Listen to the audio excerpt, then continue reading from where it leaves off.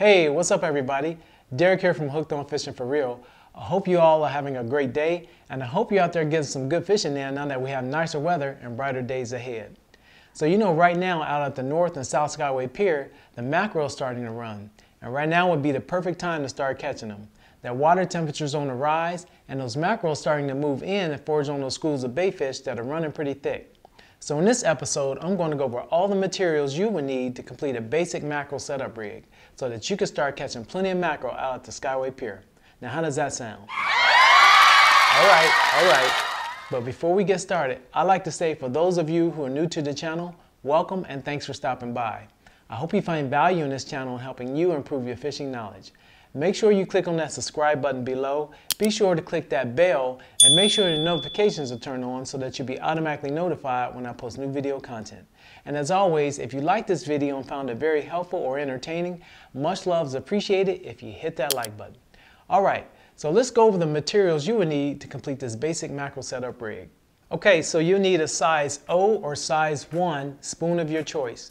Now I prefer the Clark spoon. They've been around for decades and they just work. I've used them before and I've had plenty of luck with them, but you don't have to necessarily get the Clark spoon. You can get other brands and they work just as well. As a matter of fact, in the past I've used uh, Johnson's and I've used uh, the uh, Krocodiles and I've had a lot of luck with all of those, but I just prefer the Clark spoon now.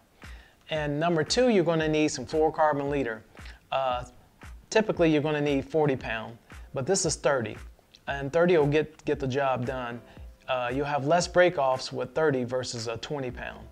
Uh, as far as length guys, you're going to need anywhere between 6 to 10 feet length of fluorocarbon leader. That should get the job done. And last here, you're going to need anywhere between a 1 or 2 ounce uh, ball bearing inline trolling sinker with the snap swivel on it. Okay, now in some of these bait shops, they sell them with the snap swivel on here, but some you'll find without the snap swivel. And you'll just have to buy a package of ball bearing snap swivel and attach it to it. All right. And then you'll need your main, of course, your main fishing line here is what you're going to tie your fluorocarbon leader to.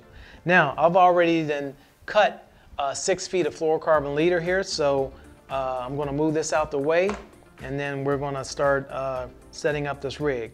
Now, what you're to do first is you're to take one end of your fluorocarbon leader and you're to tie a simple overhand knot. Now, you're not to cinch it all the way down. You're just to tie a simple overhand knot here. What we're to be doing is we're to be tying a non-slip loop knot. Okay, and what that's to do is that's to allow this lure here to work its magic in the water column. It's to really allow it to move freely like this and really get the attention of those mackerel. All right, so once you got your overhand uh, knot in there like that, you're gonna take the tag end and you're gonna put it through the eye of the uh, hook here of the lure.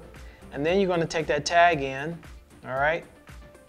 And then you're gonna bring it, bring it, and you're gonna go put it right through the center of that uh, overhand knot that you tied. So it looks like that. I don't know if you guys can see it, but it looks like that. Can you guys see that? All right. Okay. And so now you're gonna take your index finger and your thumb and you're gonna pinch that, that overhand knot that you tied so it stays in place like that so it doesn't move. All right. And now you're gonna take your tag end and you're gonna wrap it around your standing part of your fluorocarbon leader here. You're gonna wrap it around three times. One, two, three, okay? Now, after you wrapped it around three times, you're gonna bring it back through this uh, overhand knot uh, hole here that's, that we created. You're gonna bring it right through the center here, all right? And you're gonna grab it, and then you're gonna pull it tight.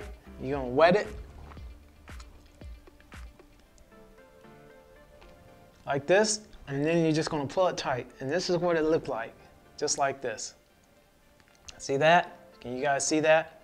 And then you're going to cut. You're going to cut that tag end off, the rest of that tag end off here. But this is what it looked like. See now this is a non-slip loop knot here. It's not going to come undone, okay? You can pull it tight as you can and it's not going to come undone. All right. Now, we're going to cut that right there like that. Now that part is done. Look at that, that's done. Okay, look at that, that's done. Okay, now on our other end, what we're gonna do is we are going to attach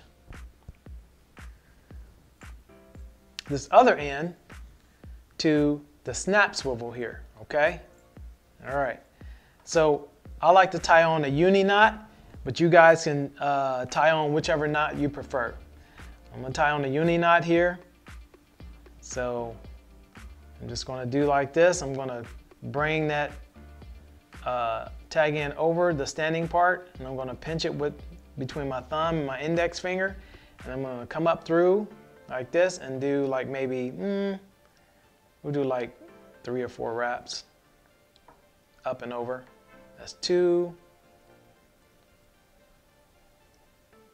three, I'll do one more, and four. There we go. All right, now I wet that, and now we're just gonna pull that like this, and there we go. Okay, so now we got our we got our uni knot tied to our snap swivel here. We're gonna cut off the tag end, like so. All right. And then what we're gonna do next is, oh, let me put this on here. Next what we're gonna do is we're gonna take our main line here. We're gonna take our main line, okay? And we're gonna tie a uni knot or whichever knot you prefer. Um, some people use a uh, improved clinch knot, you know, uh, whichever you prefer, but I, I, like using the uni knots. So um, same thing here.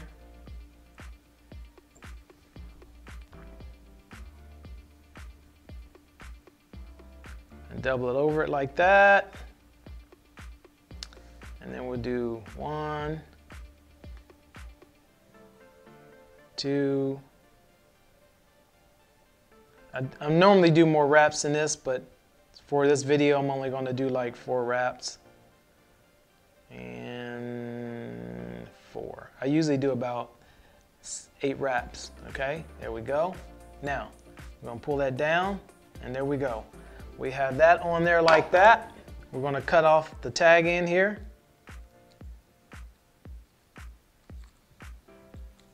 There we go. Okay, so now guys, this rig is complete. Look, I have my main line attached to the uh, inline ball bearing uh, trolling sinker here. Uh, the fluorocarbon leader is attached to the snap swivel, okay? And then we have on the very end of that, we have our Clark spoon tied with a uh, loop knot, non-slip loop knot, okay? Well, I hope this video was very helpful and valuable to you. If you guys learned something, feel free to drop me a comment below or hit that like button. That's all I have for now. Don't forget to subscribe by clicking on that subscribe button and hit that bell to be notified. Thanks for watching, have a great week, and I will see you in the next one. Peace.